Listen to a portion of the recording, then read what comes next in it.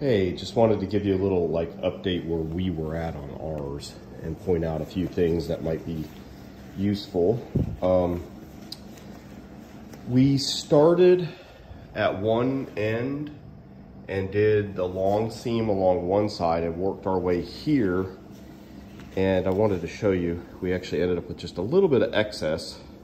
They were exactly the same length, well, I think. We laid them out on the floor, but since the material's stretchy, it's kind of hard to so what we did is because we had the excess on this end, we when we went to go do the other long side, we also started on that end and worked our way down so that we have the excess and it ended up kind of being about the same.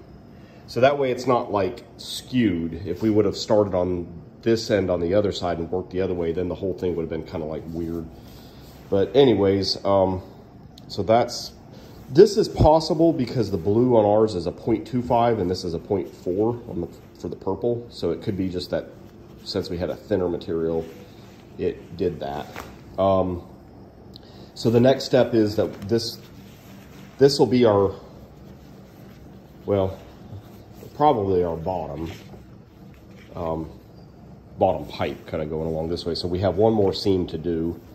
And then um, the next step is I've cut out this little neck gasket and it's one and three quarters wide.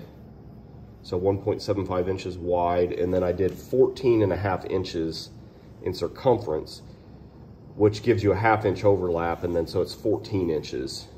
And I, I did some testing a while back and that seemed to be about right. Um, it's, it's tight, like my neck is 17 inches, but the 14 um, gives it a nice snug fit because this, this is basically forming an airtight seal.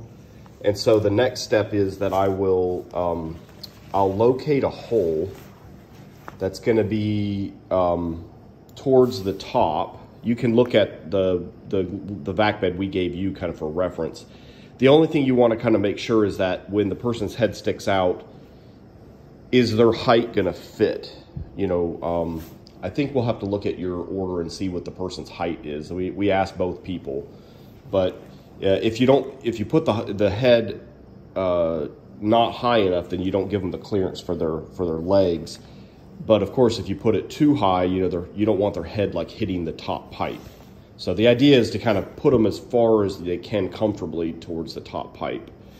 Um, and then down at this end, there of course is going to be another little gasket, but it's only going to be big enough for the pipe to fit through on the quarter. And I, I kind of do that as the very last step.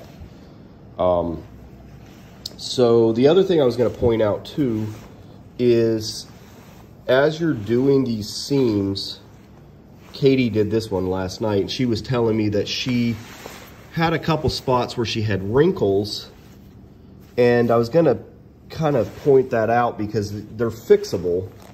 So don't freak out if you get some wrinkles. What, what we end up doing, let's see, let's see if I can find some.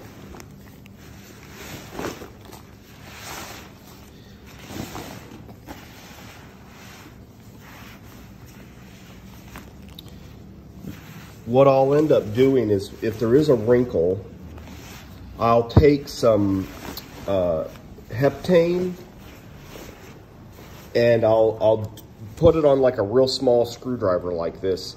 And then I'll basically kind of little by little add a little more heptane, add a little more heptane, and then kind of work my screwdriver up under into the wrinkle and then keep adding heptane and kind of move it to where I can release the seam and then I can kind of relay it down um, and kind of smash it. And as long as you kind of open it back up about an inch or so, then you can kind of have room to kind of um, stretch the material and get rid of the wrinkle. Um, so that's, that's about it. Um, if you have any questions, let me know.